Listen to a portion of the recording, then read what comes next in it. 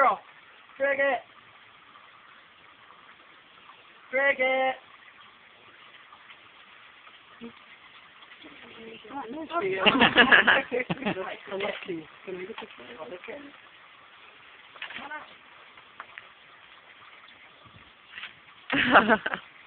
That's Funny Monday.